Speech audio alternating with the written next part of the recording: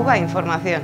No me digan más mentiroso, no me digan más, no me digan más.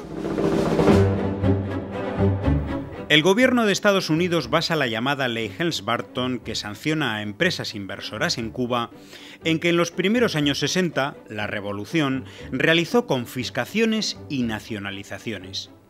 Pero son dos conceptos muy distintos que en la prensa se mezclan y confunden. Las confiscaciones fueron ejecutadas por el Ministerio de Recuperación de Bienes Malversados, que incautó sin ninguna indemnización propiedades procedentes del robo y la corrupción.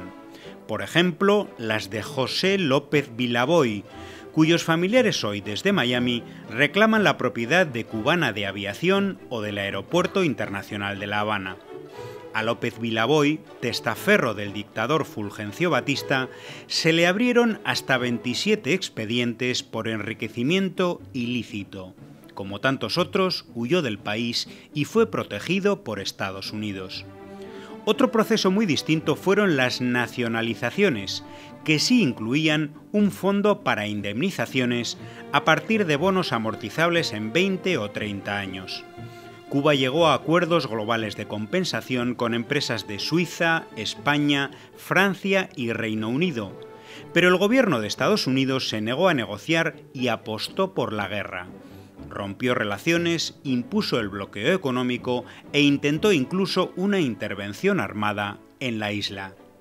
Washington prohibió cualquier diálogo con La Habana a sus empresas, a grandes compañías como la ESO Standard Oil, hoy ExxonMobil, que tras rechazar la indemnización en aquel momento reclama ahora bienes al amparo de la ley Helms-Barton.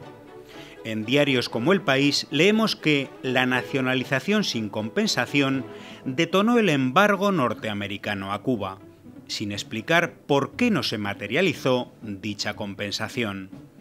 Aquel proceso de intervenciones atajó la gigantesca brecha social que existía en Cuba, por ejemplo, la ley de reforma agraria que afectó a empresas como la United Fruit Company mejoró de manera radical las condiciones de vida de las familias campesinas, aproximadamente un tercio de la población del país. El 90% carecía de electricidad, el 60% vivía en barracones sin agua corriente y el 43% eran personas analfabetas.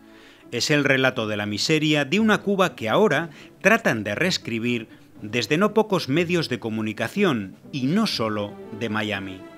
Tras rechazar el proceso negociador, la Casa Blanca trató de derrotar militarmente al gobierno de Cuba, como el de Irán en 1953 tras la nacionalización del petróleo, al de Guatemala en 1954 tras la aprobación de la reforma agraria, o al de Chile en 1973 tras la nacionalización del cobre.